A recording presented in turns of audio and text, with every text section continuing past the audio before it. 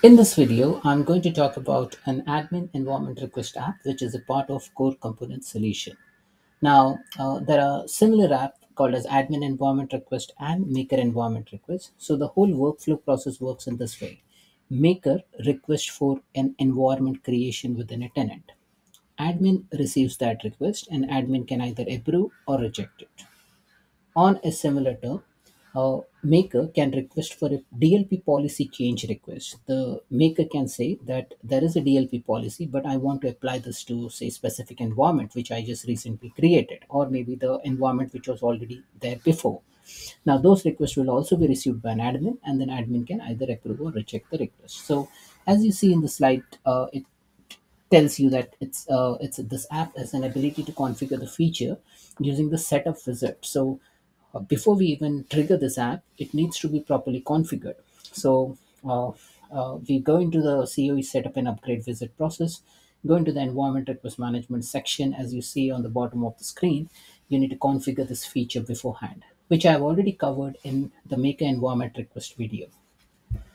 Now, uh, we can also view all the DLP policy listed in the tenant using this app, and we we can also view or hide the data policies from makers. Let me uh, show you some demo. Okay, so uh, before we even trigger the app, I told you that you need to go into COE setup and upgrade wizard process, go into the environment request management, click on configure this feature. Now, once you start the configuration process, it will uh, navigate you through a wizard-based approach. Uh, it's basically as an introductory screen. Uh, it will tell you to turn on all the flows related to DLP request, environment request, and uh, syncing policy, shared policy. So for, you need to enable all these flows for uh, the proper workflow to uh, work correctly.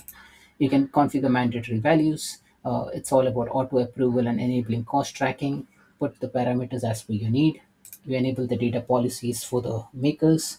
Now uh, I can enable or disable some policies over here for the makers. And the next step is to share app with this admin and maker. So currently we are focusing on admin environment request. So admin environment request is exclusively for admin only. Now, how do you open this uh, application?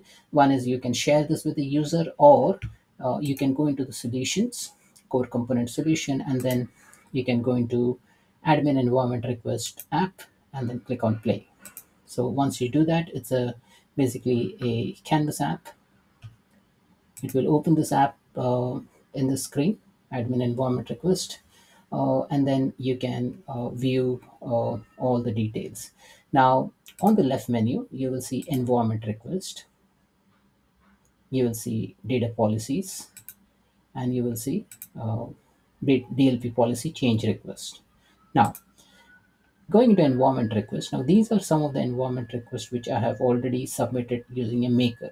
Okay, what this you can do is like you can navigate to any of the request and click on view. If you click on view, you will get more details about that request, like what is the current state, who requested it, does this has a Dataverse, can this expire, what is the requested duration, business area, any justification. You can also modify the policy as an admin. You can set up some security groups if you want to, and you can also put some notes. Like say, if I say uh, I don't approve uh, the justification okay? And then you can save the note okay? Uh, and then uh, once you are done with it uh, you can put your decision okay? So i've just saved this record. Let me again go back to this record and then uh, i'll just click on view and then i can make my decision either approve or reject or maybe i can email an admin. So all the admins within the coe uh, uh, administration group uh, will receive this email okay?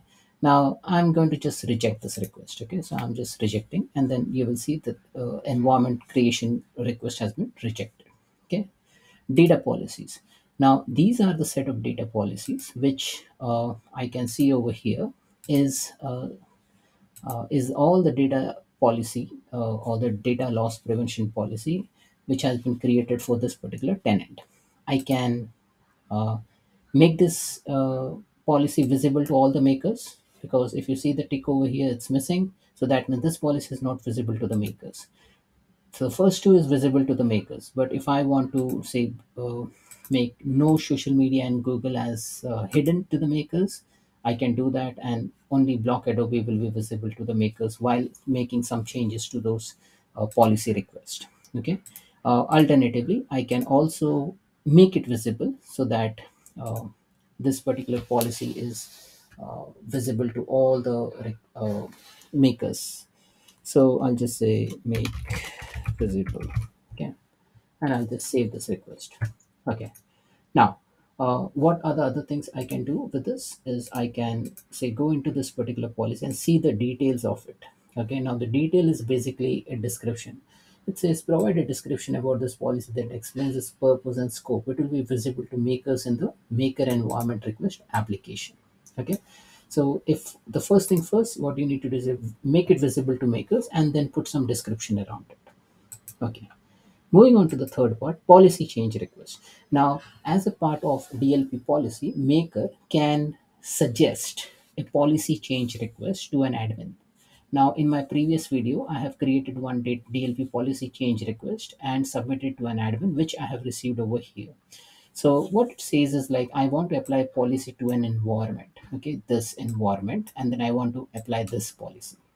Now, if you want to see the detail again, you select this item, click on details, and then you will see the detail for the policy change request. I can either approve or reject it. And you can also approve and reject from the screen. Alternatively, you can also edit this policy in the admin center. So if you click over here, then it will navigate to a admin center and then from admin center you can uh, review the policy change request as well. So that's it folks. So this is all about admin environment request app within core component solution of the Center of Excellence Starter Kit. Thanks for watching.